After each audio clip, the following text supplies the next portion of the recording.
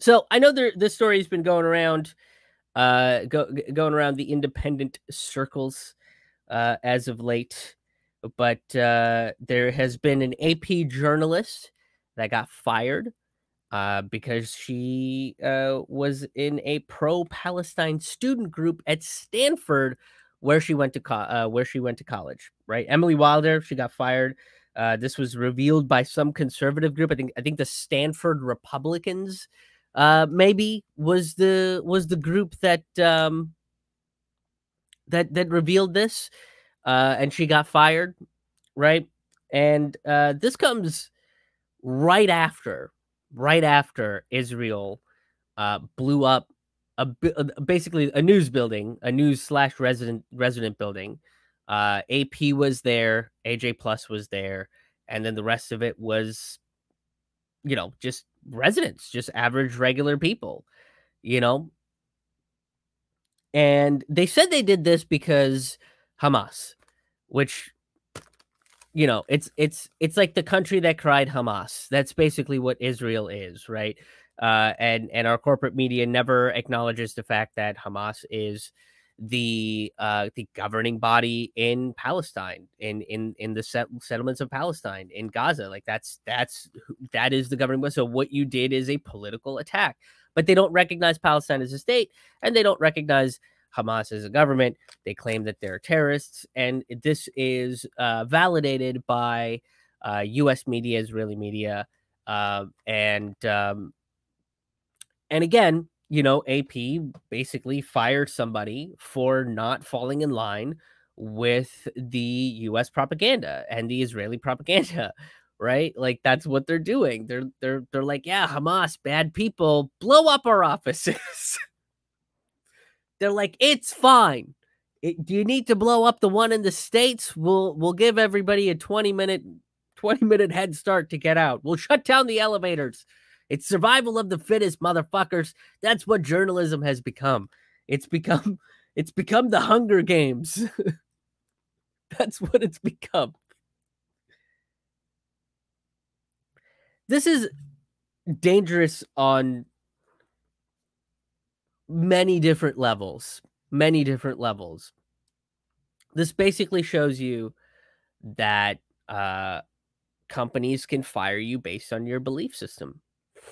And in this instance, you know, I, I for, uh, look, first of all, journalists should be unbiased.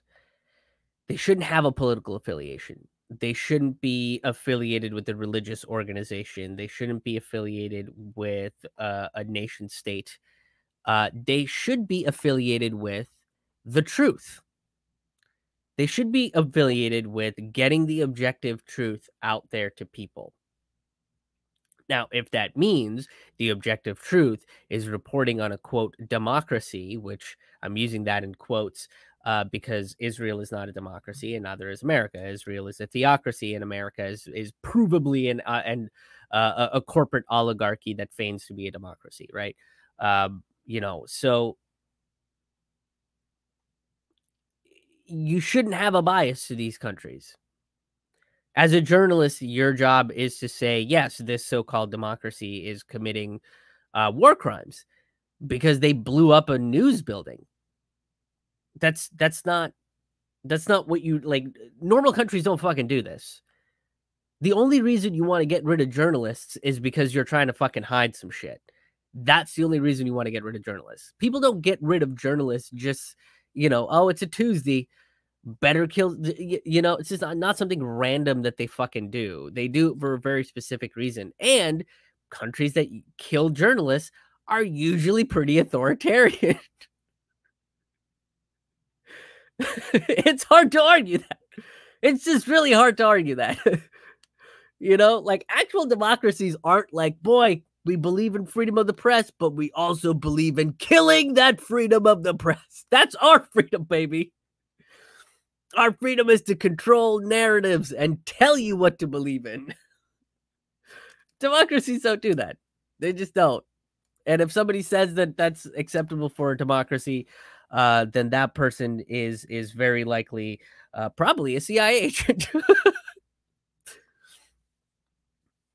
and you should stop trusting that person. If somebody is reasonably making any sort of justification for the explosion of and the destruction of journalists, the destruction of civilians, the destructions of hospitals, schools, um, you know, uh, emergency services.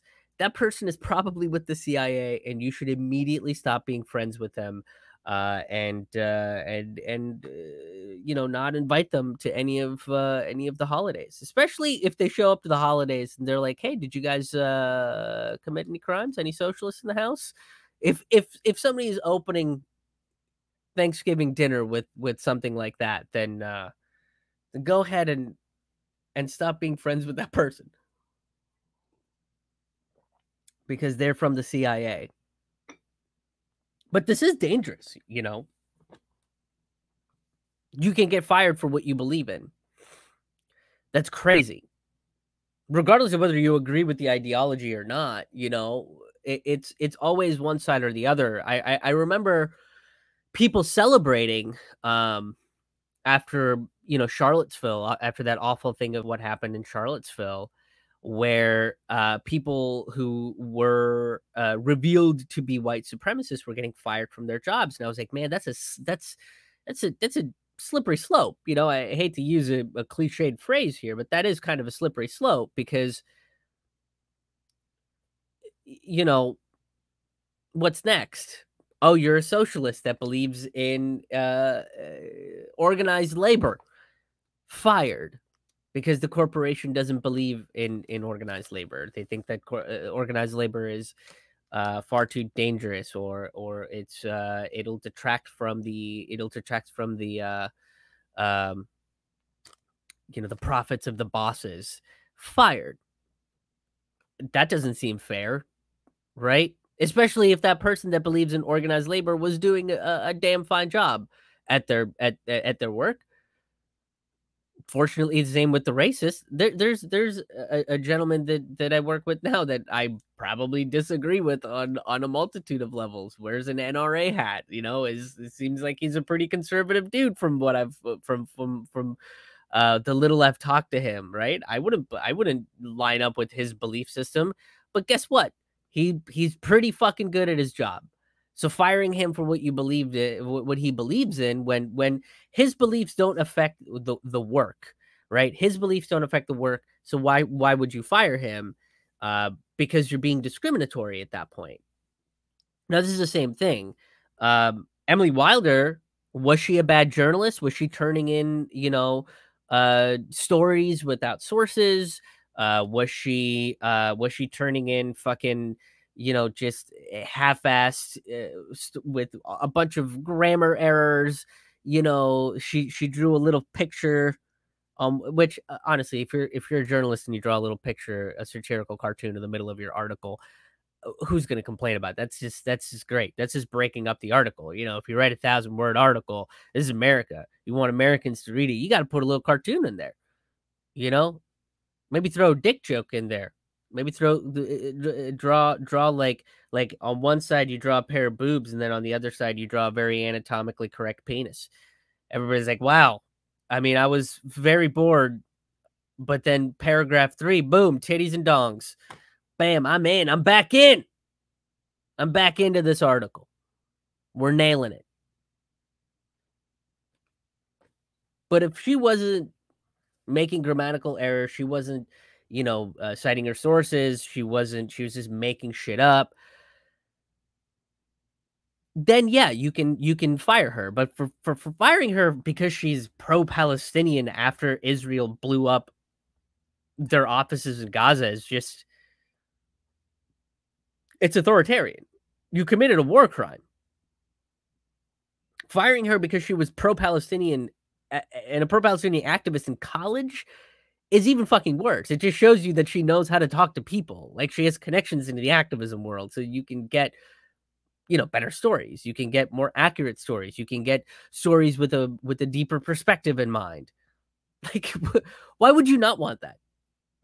But this harkens back to Chris Hedges. Like they've been doing this to journalists forever. Uh Ed uh, uh, is Ed Fallon? Is that is that correct? Um, uh, he was on MSNBC. If if I get the name wrong, please do correct me in the comment section. Uh, but Ed Fallon, I, I, believe his name was Ed Fallon. He was an MSNBC uh, uh, correspondent and and wanted to cover uh, Bernie San- Bernie Sanders rallies, and MSNBC said no, and he was like, "I'm gonna fucking do it anyway," and they fired him for that because he believed that what Bernie was doing needs to be covered, needs to be shown, so that people learn how to create a grassroots campaign within a, within a duopoly and succeed right? Which is what Bernie was doing. Now, Bernie has a lot of problems, but he did do that pretty well. And he did inspire a lot of other people to do that. Uh, whether they turned into Democratic Party shills or not, I don't think that's for Bernie to decide. He did kind of turn into a little bit of a Democratic Party sheepdog. Uh, Ed Schultz, thank you, Holly. I appreciate that. Ed Schultz. Why did I call him Ed Fallon? I don't even know who Ed Fallon is. Um, is Ed Fallon an actor? I don't know. It doesn't matter. Ed Schultz. Ed Schultz is the gentleman. Uh, he got fired for for what he believes in. Chris Hedges, same thing. Chris Hedges did too good of a job being a fucking journalist in Iraq that the New York Times fired him. He he covered what the fuck was actually going on and talked to like the people in Iraq, and they fired him. This happens all the time. Right? And it sets this precedent that you can get rid you can get rid of people for what they believe in. And it sets a precedent that uh you have to believe in in in the paradigm that starts in this corner and this corner. Anything outside of this is unacceptable it's the same. It's the same thing that corporate media pitches, right? If you want to be on corporate media, uh, with their with their millions of viewers and so on and so forth, if you want to get your message amplified to that level, then you have to be between this line and this line. If you're outside of that, go fuck yourself. Like that's how corporate media operates. And now we're saying that's applicable for for jobs.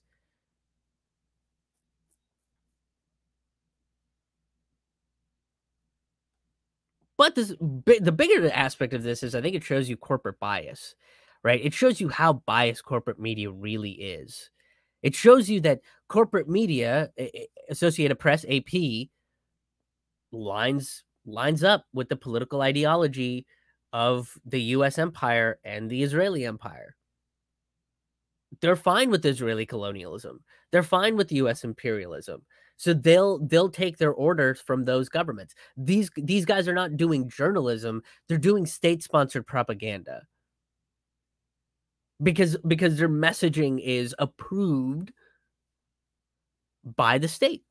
And if it's not approved by the state, then it doesn't get printed or it doesn't go up online. And if you try to push back, you'll get the same result as Emily Wilder, which is you'll get fired.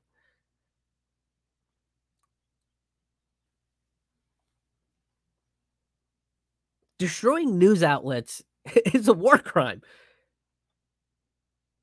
But again, the Israelis don't care. The IDF fires at journalists. They shoot at journalists with their, you know, they wear fucking vests that say journalists on them. But that's okay. America is fine with that because America also fires at journalists. America also tries to imprison journalists. That's what they that's what they're trying to do with Julian Assange. They want to get him into AdMax. In Colorado, it's one of the worst fucking maximum security prisons in in America. So they're fine with this. So this is accepted. And they will make rationales. They will make justifications. False justifications, false rationales, but they will make those. And our job um, as as uh, as informed citizens or or would be informed citizens uh, or critically thinking, free thinking citizens should be pushing back on that fucking rhetoric. Should be pushing back on state sponsored propaganda.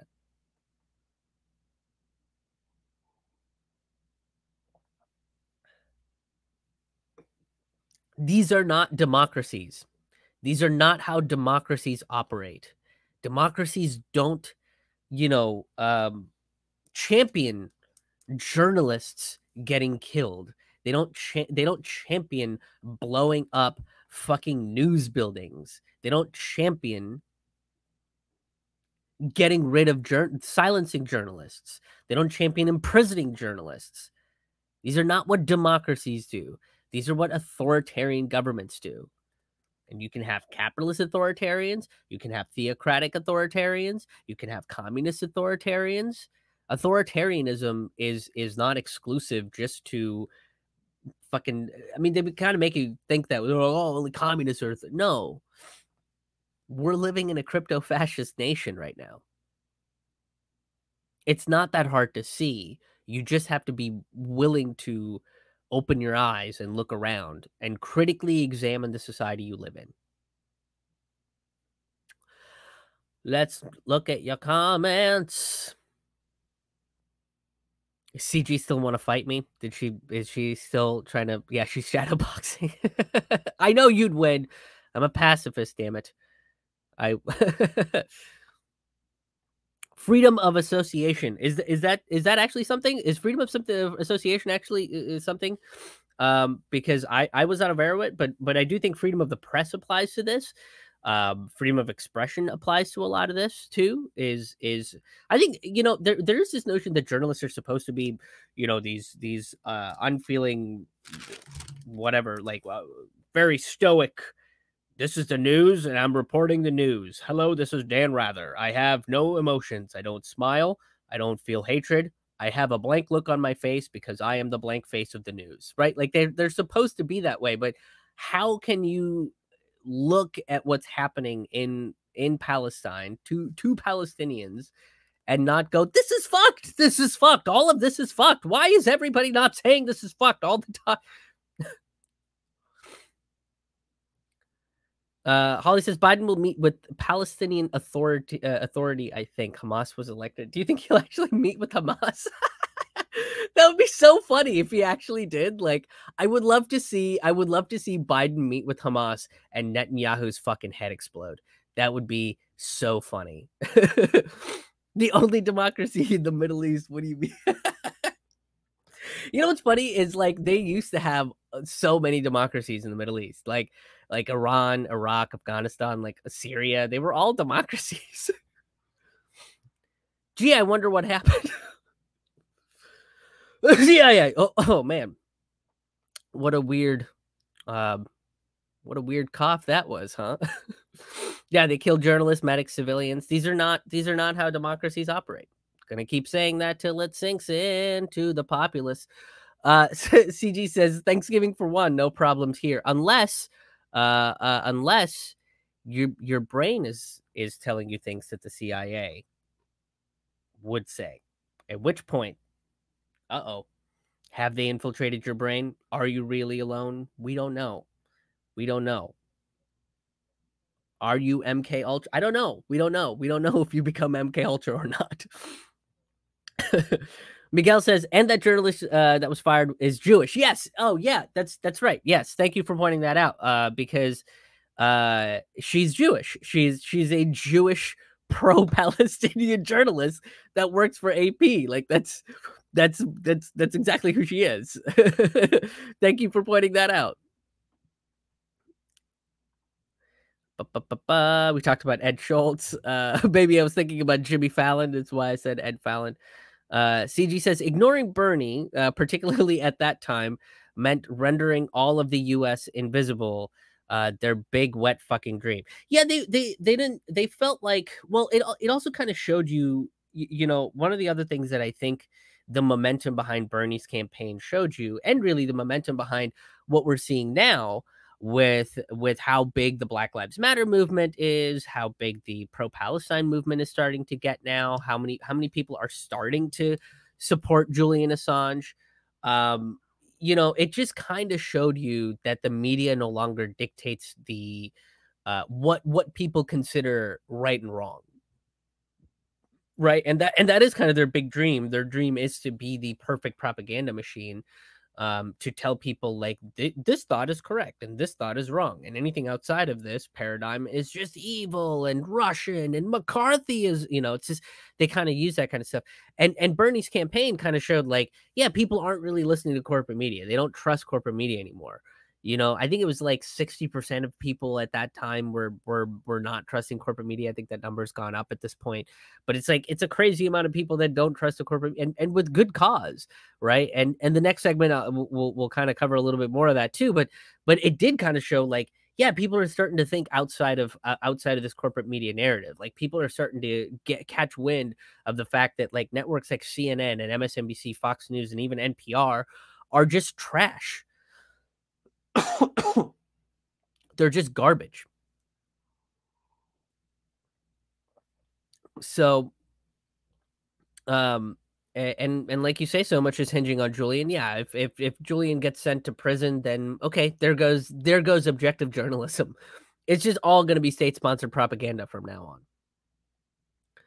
on. Uh, CG also says we have what I call an oligarch pluto plutocleptop kakistocracy with increasing doses of totalitarian authoritarianism. Uh, I know the first one, two, three of those. I don't think I know what a kakistocracy is, but that might be a conversation for for a different time.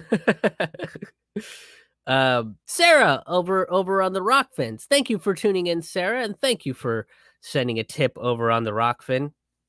I want to remind folks once again if you're if you're watching this on the YouTubes, this week will be the last week that I stream on YouTube. I will uh I will be putting up the full stream um after you know uh, eh, probably around like 6 37 o'clock uh, uh, the day of the stream but i won't be doing the live streams on youtube past this week so head on over to rokfin rokfin.com slash krishmohan haha make yourself a free account. Uh, the streams are always free over on Rokfin, and then 24 hours later, I put them up as premium. So if you're someone that catches the streams often, um, they're they it, will be free.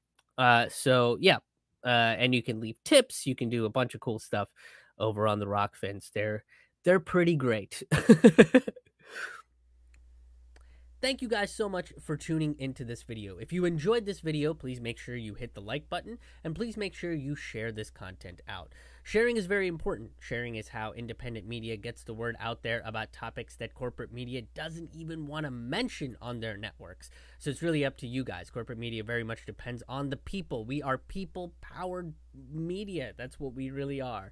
Uh, another great way to help if you're on stable financial ground is to uh, make a financial contribution to this channel. And you can do so over at krishmohanhaha.com slash donate. You can become a sustaining member, which gets you free tickets, early access to videos, bonus stand-up comedy and storytelling content, uh, a way for you to communicate directly with me, ask me questions, and other uh, premium content that uh, will be released on a monthly basis. Um, or you can make a one time donation as well on that same website. Um, I also have uh, various stand up comedy albums. I have about six comedy albums out right now uh, that are available on my website at krishmohanhaha.com. And most of them, if you get them off of Bandcamp, are available for a dollar or a, a pay what you want pricing. And I also want to mention that I do have an online merch store. Uh, you can go to my website, krishmohanhaha.com, click on the merch tab, and check out all of the designs that I've made myself. And the Julian Assange shirt, there is a Julian Assange shirt that's on the website. All the profit from the Julian Assange designs will be going to uh, pro Assange activists such as Action for Assange, uh, Kevin Gosztola, Richard Medhurst, folks uh, uh, uh, that, that are covering and talking about Assange. So I'm going to be making donations to them um, uh, it'll be 100% of the profits I make off of that shirt.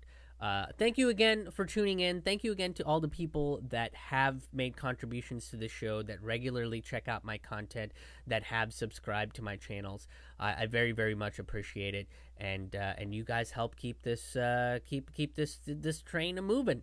So I, I very much appreciate that. Until the next video, we'll see you on the road. See you guys.